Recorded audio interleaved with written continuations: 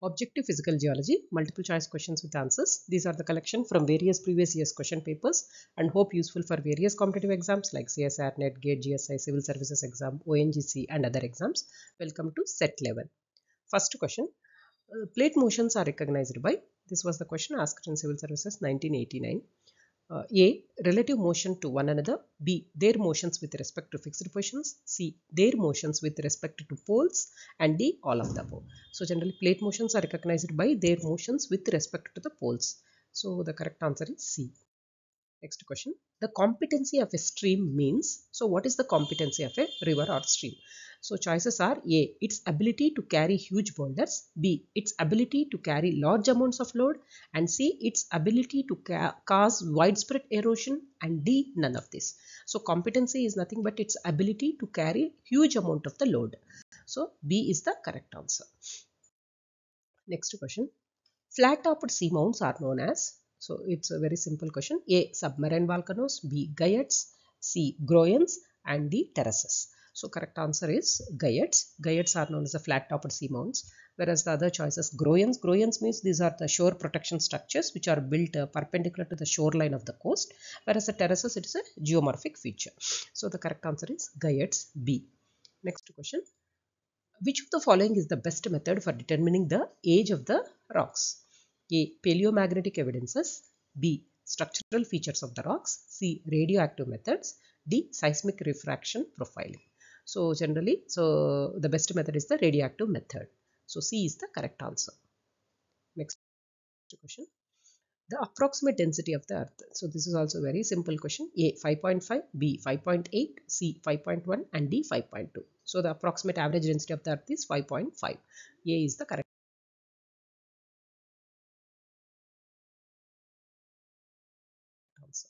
Next question. The past geological processes can be explained by the processes taking place presently by A. Wegener's concept, B. Charles Lyell's theory, C. Uniformitarianism, and D. Law of faunal succession. So according to the uh, law of uniformitarianism, present is key to the past. So that's why C is the correct answer. Next question. Ria coast is a A. A faulting scarp along the coast. B. A topographic high near the coast. C. A submerged fjord and uh, D. A coastline running parallel to the adjacent highland. So, Ria coast is a, a, faulting scarp along the coast. It's a coastline having a several parallel ridges separated uh, by a prominent ridges extending uh, a distance inland. So, A is the correct answer. Next question. Which of the following is a freshwater lake? Choices are A. Wular, B. Chilka, C. Pulicat, D. Pachpadra. The correct answer is Wular. Wular is a freshwater lake, whereas the Chilka, it is a brackish water lake. And Pulicat, it is a second uh, largest uh, brackish water lagoon. And uh, if you take Pachpadra, this is a saltwater lake in Rajasthan. So A is the correct answer. Next question. The age of the oldest seafloor is about A. 100 million years, B. 200 million years, and C.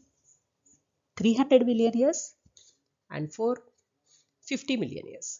So the correct answer is B 200 million years. So the age of the oldest seafloor is only about 200 million years. Next question. According to the theory of plate tectonics, A. Mid-oceanic ridges mark the boundaries of the plate. B. Mid-oceanic ridges and continental mountain chains mark the boundaries of the plates. C. Island arcs and mountain chains form the boundaries of plates.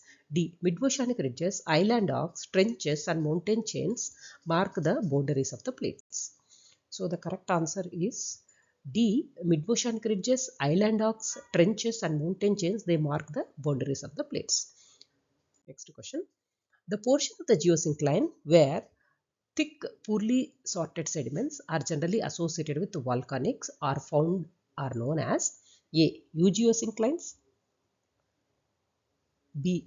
Miogeosynclines C. Zeugogeosynclines and D. Taphrogeosyncline.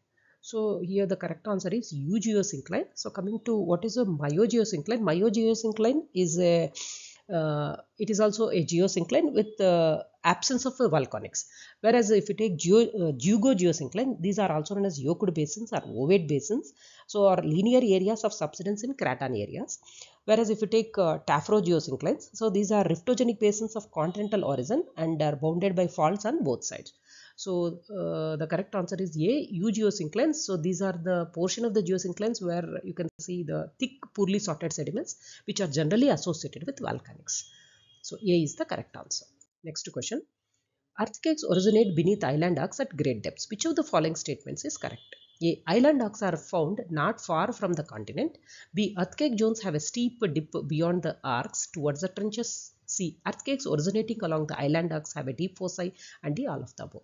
So, all the three are correct. Like uh, suppose if the earthquakes originate beneath the island arcs at great depths and island arcs are found not far from the continent, this is true. And earthquake zones have a steep dip beyond the arcs towards the trenches, this is also true. And earthquakes originating along the island arcs have a deep foci. So all of the above are correct. So D is the correct answer. Next question. Andesite is a typical volcanic arc of the island arcs because it is A. It is formed uh, from a predominantly acidic magmas. It is formed B. It is formed by the partial mixing of the oceanic and continental crust. C. It is generated by the collision of two oceanic plates and D. None of the above. So the correct answer is uh, it, uh, B. It is formed by the partial mixing of, mixing of the oceanic and continental crust. Next question. Bajada is a. A series of uh, coalescing alluvial fans formed at the uh, Piedmont slopes. B. Flat-topped hills formed by fluvial erosion. And C. A shallow basin surrounded by mountains from all the sides. And D. None of the above. So, Bajada is nothing but it is a series of coalescing alluvial fans formed at the Piedmont slopes. Next question. Sets of landforms which indicate fall in the sea level are A. Wave cut benches, beaches, ridges. B. Sea caves, estuaries, lagoons. C. Floodplains, extensive beaches, alluvial fans. D. None of the above. So the correct answer is uh, B. Sea caves, estuaries and lagoons. They indicate the fall in the sea level. These are the type of uh, sets of landforms. They indicate the fall in the sea level. B is the correct answer. Next question. Geological work of groundwater results in 1. Corrosion. B. Uh, 2. Abrasion. 3. Cementation. So out of this, uh, we had to um, choose the correct answer like A 1 only, B 1 and 2 only, C 1 and 3 only and D 1, 2 and 3. So geological work of groundwater results from uh, or it results due to corrosion and abrasion. So 1 and 2 only. So B is the correct answer. Next question. Radial drainage pattern is found in A. Volcanoes, B. Hard rock areas, C. Uplifted areas, D. Glaciers. So generally radial uh, drainage pattern is found in the volcanoes.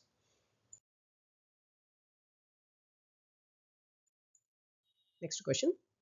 The drainage pattern produced by parallel faulting and alternate beds of resistant and non-resistant rocks is A. Trellis, B. Parallel, C. Radial, D. Dendritic. So the correct answer is uh, A. Trellis. So generally uh, parallel drainage pattern it is formed where there is a pronounced slope at the surface. Whereas if we take the radial drainage, it is a characteristic of the domal uplifts, uh, that means in the case of the domes and also slopes of the volcanoes.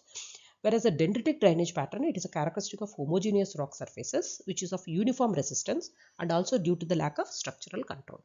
So the correct answer is A. Trellis. This is formed by uh, parallel uh, faulting and alternate beds of uh, resistant and non-resistant rocks. A is the correct answer. Next question. The most appropriate term for a ridge dipping gently on one side and steeply on the others. A. Hogback. B. Mesa. C. Butte. D. Cuesta. So the correct answer is C. Cuesta. So if you take the butte, these are the isolated masses without the flat tops. Whereas if you take mesas, these are the flat topped hills formed by fluvial erosion. And hogback, it is an erosional ridge with a long gentle slope on one side and a steep slope on other side. So the after of these choices, uh, D is the correct answer. Next question. The lakes formed in the cutoff meanders are called A. Kayals, B. Playas, C. Oxbow lakes, D. Taras. So the correct answer is C. Oxbow lakes. Suppose if you take uh, Kayals, Kayals these are the shallow sea inlets or lagoons. Uh, Kerala lagoon lakes, uh, these are also known as Kerala lagoon lakes. And uh, if you take the playas, playas means these are the depressions in the desert areas or desert basins. So the correct answer is C. Oxbow lakes. See you in the next video.